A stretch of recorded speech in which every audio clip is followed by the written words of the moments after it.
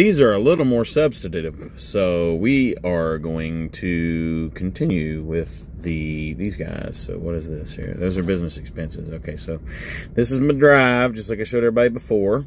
So we're going to go, let's go to start. We'll do it this way. So here's uh, my 2021 organized, uh, itemized expenses for the tax man. So you open up to this page first. This is what we are at every month for expenses. And then the total is in red. And now, okay, so there's January, February, and March. Uh, we keep coming up with them. Okay, so like, look here. Okay, I got a vehicle weight ticket. This is what I like about how I did this. So I can tap on vehicle weight ticket, brings up a link, tap it, opens that receipt. So tax man ain't got to do no hunting. It's organized. Here's Walmart where I bought electric skillet paper towels. This is stuff for the truck. Write off stuff. See? Pulled that up. It's awesome. Um, I can't show any of the Schneider proprietary stuff, but you know, here's another. Well, okay, here's so like here's a uh, invoice for February for the pre-pass. All right, so that's how I've been doing my itemized expenses right now. It's generic. I don't have no trucking office or none of that craziness. Nothing's gonna cost me money yet. I know I need to get into something like that, but for now, this suits my ends. So here's the revenue and profit for the year as of the last day worked was February 25th, this is what our earnings stand, or, uh, earnings stand for. This is based off of the uh, settlement of the uh, 4th of March. So the February 25th the last day ran. So from that day, February 25th, total earnings to the truck are 43 983.01 and to the house is 22 623 uh, 25. Uh, that doesn't account for you having to withhold taxes. Here's last year's complete totals for every week. And then the two numbers on here, revenue and deductions reports, which is the final that they give you, basically the, the 1099. the difference on the gross was 24 cents. I have no idea how that happened. I was I went off solid numbers on both sides of that. I went through each individual statement or settlement, and uh, then I went through the uh, statement that, or the uh, 1099 they gave at the end of the year, and there was a 24 cent difference. So that's why it looks like that but 24 cents is negligible. At least I think so. But I put it in there for the tax man. So now let's go to my settlement calculation. Give you guys an update. Um, this is all the way back to January. I, did, I tried to do this video once and I showed something I shouldn't have showed by accident. So I had to delete it. So let's start with the week of the 4th. Which is the last day worked would have been February. Well, it went through the 28th. is when I delivered. That's what went on that check. Anyway, so here's what we're looking at, okay? Uh, Barnwell, South Carolina, bounced around the country, ended up in Livonia, Michigan.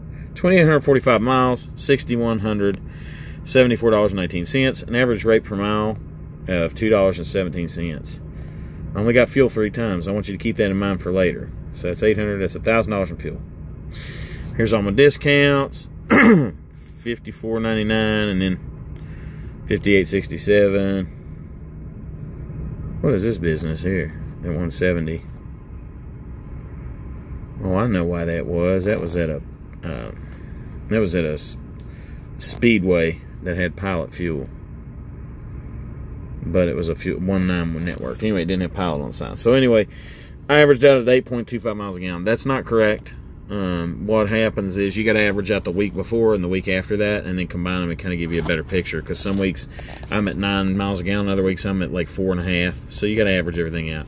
Anyway after my expenses there's two scale tickets right there on the miscellaneous. Um, sorry i ain't trying to bounce around too much.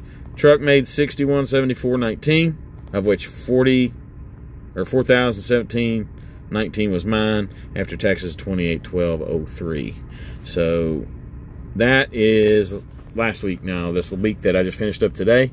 And the reason I do these is so we know ahead of time how to budget at the house and what we need to save and what our plan is with the business. So I know ahead of time, and I'm always within, literally always within 50 cents of what I end up getting settled out to. So I've pretty much got this formula down pretty good. But so this uh, this week started in Lima, Ohio, Edwardsville, Illinois, to Monroe, Ohio, back to Edwardsville again. That was a lot of deadhead. It was 300 miles of deadhead. But this Westfield mass load paid three dollars and twenty some cents per mile for loaded miles, and then with empty miles it was like two fifty something still. So so I took it because heck yeah It paid really good, as you can see. Westfield, Mass paid thirty-three eighty-five forty-one. It's for thirteen hundred miles. So dumb not to do that, in my opinion. It was the best thing on the board right then and there, and I snagged it. Uh, so Westfield, Mass ended, went to Shrewsbury, went to Sleet, or excuse me, went to Shrewsbury, and then picked up and went to Lewiston, delivered. Then I went to sleep for a while, and picked up at Auburn, and then came back to Chambersburg, PA. Uh, and then after I delivered there, dropped, uh, I came on down here with an empty to, unfortunately, the Hagerstown, Maryland pilot. It smells like a giant dump was taken literally outside all over the whole lot. And there's trash everywhere because nobody cares. It's not the pilot's fault. It's just, it's these low caliber individuals we drive with out here nowadays. But anyway, settlement totals is 2,897 miles for a total of 6,418.11. Average rate per mile for all miles is 222. Again, no hub miles included. I'm going to start doing that in subsequent one so you guys have a better picture. So that 222 is probably going to come down to about a probably 209, 210, something like that for average mile. Anyway, here's all my diesel. See, I fueled an extra time at the front end because I had one less fuel on the last one, and then I fill I put 280 in her today, so I didn't eat up my next check. I'm going home on the next check, and I don't want to short my short check any further. There's all our discounts, the DF prices. So see right there, 16.99.51. I did not burn that much fuel. I did not burn 530 gallons in the week. I was not as low as five. Uh, 0.460 gallons, miles per gallon of me. That's because I fueled two extra times on here. One should have gone on the last check and one should go on the next check. But this check was big enough. I did not need to milk my already going to be short check when I go home any shorter.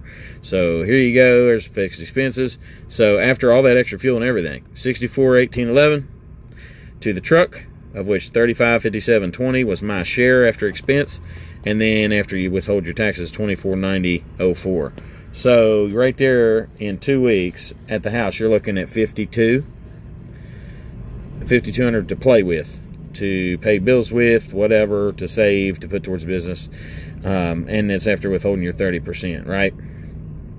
So hub miles uh, or odometer miles I'm gonna start doing on the uh, next settlement starting tomorrow but I'm on reset so from Wednesday will be the first day that I'll keep track of that. I'll have to write down my mileage and then Monday night when I park or around midnight get a within two or three mile number of where I'm, you know, where I was at at midnight to to get an accurate reading of you know when it when it happened or you know what the miles were so you guys haven't and then here's the template that I built this is what everything's based off of um, so when I want to make a new one I'll tap that and then I'll click duplicate which I'll do this one. And then the first thing I'll do is I'll rename it to the next settlement, which the next settlement will be 3, 16, 20, 21.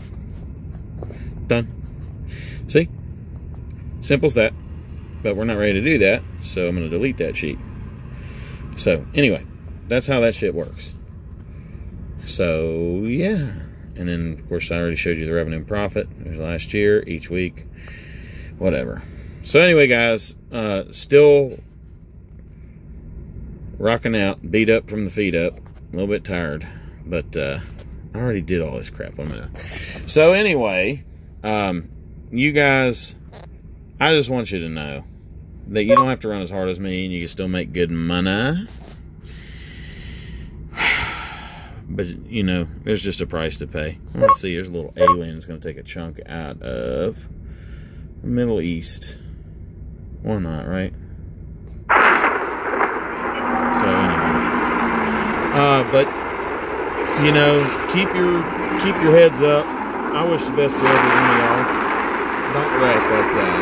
You know. Apparently six point six billion two hundred twelve million people just died, so I'll go ahead and finish this thing off. But uh, you've got plenty of plenty of resources out here between me and the other 500 guys, I turn that down a little bit, me and the 500 other guys that are out here that do these videos, and you could be the next one. So, you know, get out here, do what you do. I'm willing to learn. Uh, I want to learn from all y'all. Uh, there's a plenty of guys I've learned from, and you know, always remain teachable. So I'll be reaching out to the same guys that taught me this whenever I get to where they are. And if I do something different or leapfrog them in a certain aspect, if they ask me straight up, I'm going to tell them the truth. I'm just trying to encompass a little bit of my numbers to kind of show you guys what's going on. But I love you guys and I love that road and keep that road together. Keep your truck together. Keep your bones together and keep your faith together. God bless everybody. I will talk to you next time.